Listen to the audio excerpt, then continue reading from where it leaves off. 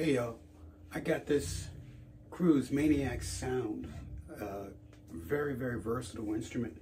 Very aggressive. Two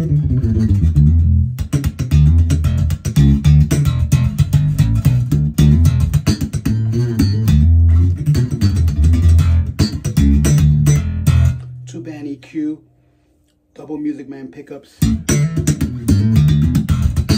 And that is passive that you're hearing. Here's active.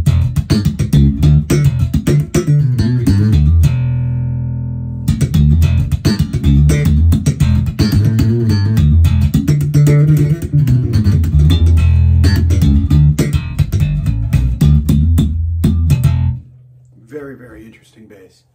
A lot of lows. Very sweet and high end. And almost a, I would say, almost a perfect neck.